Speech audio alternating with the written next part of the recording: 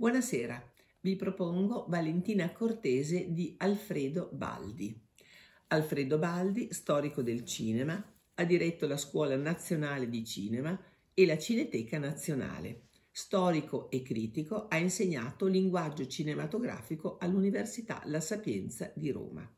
Nel 2022, per l'editore ETS, ha pubblicato Valentina Cortese, un breve secolo 1923-2023. Ripercorrere così oggi la vita e le interpretazioni per il cinema, il teatro e la televisione di Valentina Cortese nell'occasione dei cento anni dalla nascita e tre anni dalla sua scomparsa presenta motivi di interesse. Prima di tutto perché Valentina è stata senza dubbio l'ultima diva della scena italiana.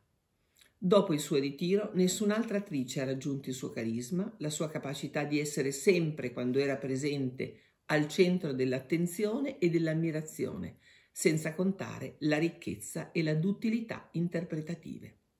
Valentina ci incuriosisce anche perché la sua vita, iniziata in condizioni a dir poco disagiate, ha subito tali e tanti cambiamenti o addirittura ribaltamenti da rendere quasi fantastico il suo racconto. Leggerò l'incipit.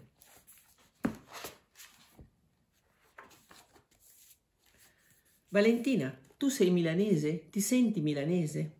Io sono milanese, di Porta Nuova.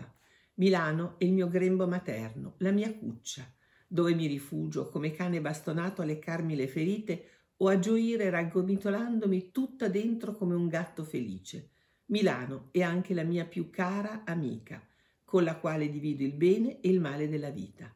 Poi Milano è buona e generosa con te. Come non esserle grata quando ti avvolge in quel sipario magico di nebbia per cancellare il male che ti gira attorno e poi per farti ritrovare all'improvviso uno spiraglio di azzurro, di luce. L'infanzia è un punto cardinale della mia vita.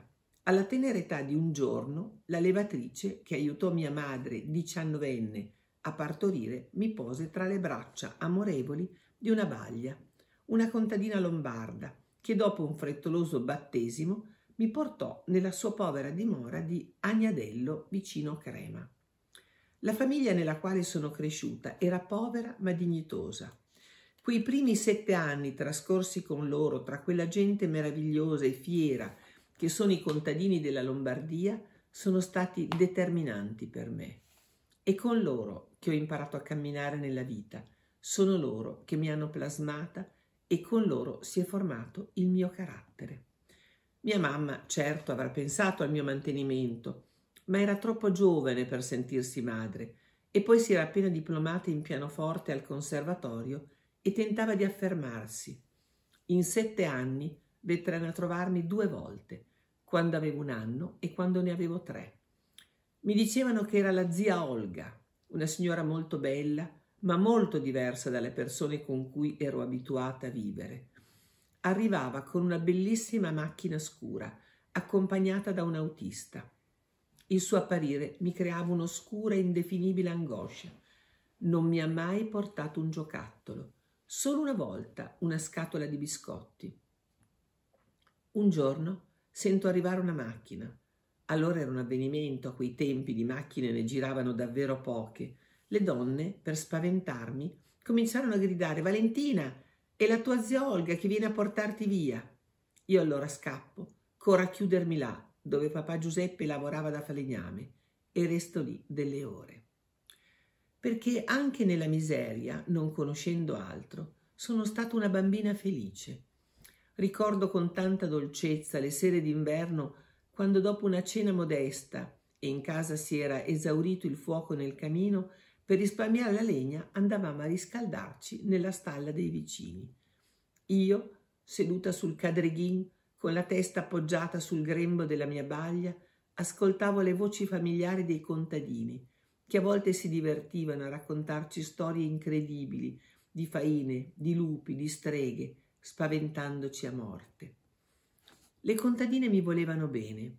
Ricordo i loro grembiuloni neri di cotone e i fazzoletti calati giù sulla fronte, giù giù, quasi a coprirsi gli occhi, come a voler nascondere, non so, i loro segreti, le loro tristezze, il sudore o chissà le loro paure. I loro fazzoletti erano scuri di cotone, con qualche fiorellino bianco qua e là. Solo la domenica erano di seta nera. Henriot si chiamava in dialetto ed era considerato un segno di pudicizia, di eleganza povera.